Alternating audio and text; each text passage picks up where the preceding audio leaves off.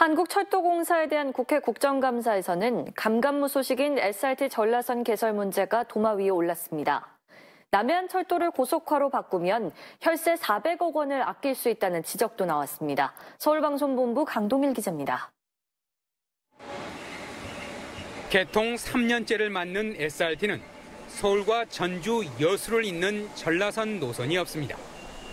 KTX의 전라선 이용률이 주말에 106%에 이르는데도 SRT 전라선 노선이 신설되지 않는 이유가 논란이 됐습니다.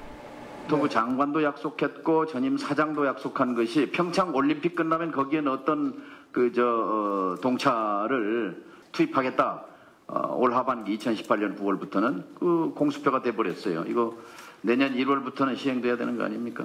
어, 용역 결과들과 이 기존선 운행 준비와 시기적으로 네. 있어서 같이 그 검토해서 빠른 시간 내에 예, 방법을 남해안 철도 구간 중 유일하게 일반 철도로 건설되는 목포 순천 구간을 전철화해야 한다는 지적도 제기됐습니다. 전철화를 동시에 진행하고 하는 것이 추가 비용이 400억이 절감이 된다. 예산 절감이 400억이다.